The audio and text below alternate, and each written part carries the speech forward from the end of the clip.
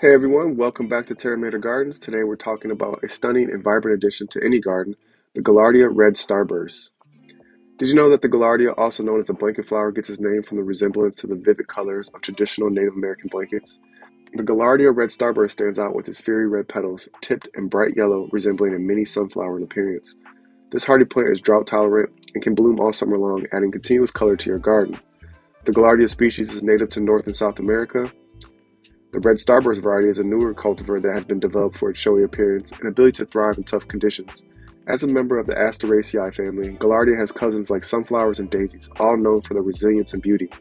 The Gaillardia red starburst is a perennial flower, meaning it will come back year after year with proper care. It features large, daisy-like blooms that can grow up to 3 inches in diameter.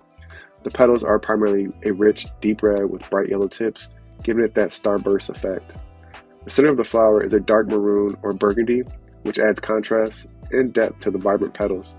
The variety typically grows to about 18 to 24 inches tall and has a bushy, mounded growth habit, making it a great choice for borders, flower beds, or containers. Gaillardia Red Starburst thrives in sunny locations and needs at least 6 to 8 hours of full sun per day to produce its best blooms. It prefers well draining soil as it's highly drought tolerant once established.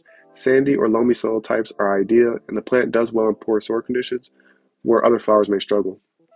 When planting, space the plants about 12 to 18 inches apart to give them room to grow.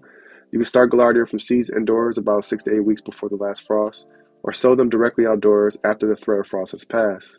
Keep the soil moist but not waterlogged during the germination period, which typically takes 2 to 3 weeks. Once established, Gaillardia is low maintenance and only requires occasional watering during dry spells.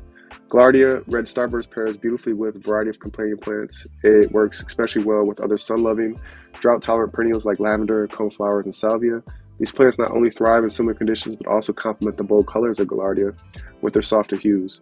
The Gaillardia also attracts pollinators like bees and butterflies, so planting alongside other pollinator friendly plants can create a vibrant, wildlife friendly garden. Avoid planting Gaillardia near plants that require consistently moist soil as their water needs differ.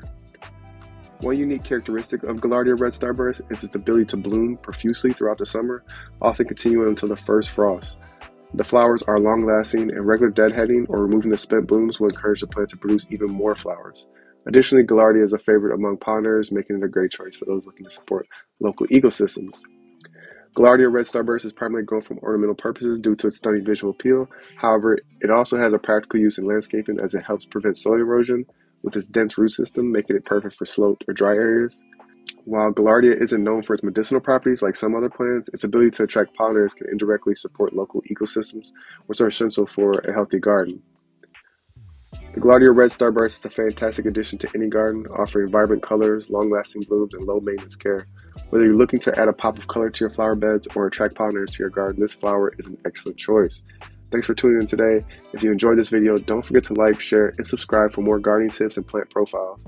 And as always, happy growing.